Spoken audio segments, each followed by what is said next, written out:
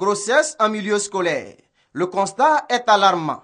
5076 cas enregistrés l'année dernière, selon une étude diligentée par le ministère de l'Éducation nationale et de l'enseignement technique en collaboration avec le Fonds des Nations Unies pour la population. Sont touchés par ce fléau les élèves du primaire et du secondaire dont l'âge varie entre 11 et 15 ans.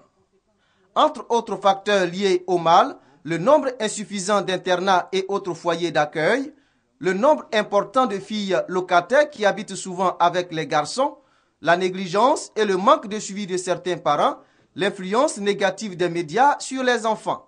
L'étude recommande de cibler les élèves, d'informer les élèves, de mettre l'accent sur l'estime des élèves, leur estime, l'estime de soi, l'ambition que les élèves doivent avoir pour véritablement gérer leur parcours en tant qu'élève. Il est important qu'on puisse mobiliser l'ensemble de la communauté éducative, notamment les DREN, pour que les DREN soient responsables et conduisent la campagne zéro grossesse à l'école.